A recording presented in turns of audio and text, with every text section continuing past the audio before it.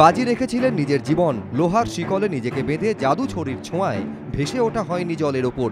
Magic দেখাতে গিয়ে মৃত্যু হয়েছে জাদুকর চঞ্চল লাহিড়ির। সেই ঘটনায় এবার শতপ্রণোদিত মামলা রুজু করল উত্তরবন্দর থানার পুলিশ। লালবাজার সূত্রে খবর, গাফিলতির জেরেই এই মৃত্যু।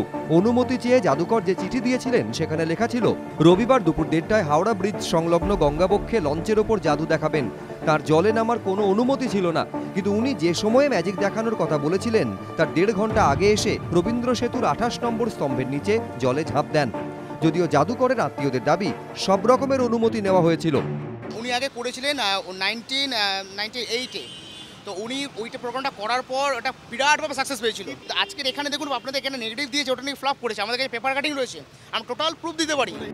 প্রত্যক্ষদর্শীদের সঙ্গে কথা বলে পুলিশ জানতে পেরেছে ডেথ ডাইভের জন্য সোনারপুরের বাসিন্দা চঞ্চল লাহিড়ির হাত ও পা দড়ি দিয়ে বাঁধার পর শিকল দিয়ে বাঁধা হয় গোটা শরীর।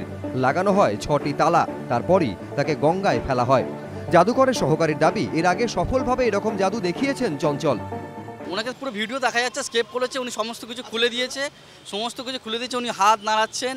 এবার উনি রিলিজের জন্য আমাদের কাছে এ চাইছে আপনার লাইফ গার্ড চাইছে।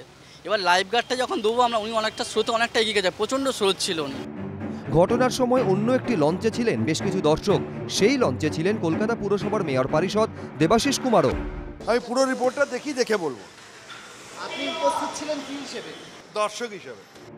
পুলিশ সূত্রে খবর, ঘটনার সময় জাদুকরের লঞ্চে যেসব লোকজন ছিলেন, শুধুমাত্র তাদের বিরুদ্ধে মামলা রুজু করা হয়েছে। মামলা রুজু হয়েছে ভারতীয় দণ্ডবিধির তিনশো চার এ ধারায় গাফিলতির জেরে মৃত্যু এবং চৌত্রিশ নম্বর ধারায় সংগঠিত অপরাধের অভিযোগে।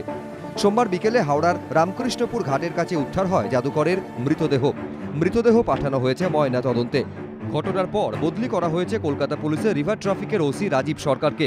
যদিও লালবাজার সূত্রে খবর, রাজীব সরকারের বদলি রুটিন মাফিক। একই সঙ্গে বদলি করা হয়েছে এন্টালি থানার অ্যাডিশনাল ওসি দিলীপ পাল ও এনআরএস হাসপাতালের পুলিশ ফাঁড়ির ইনচার্জ সহ এগারো জনকে। আবির দত্ত ও অর্ণব মুখোপাধ্যায় এবিপি আনন্দ।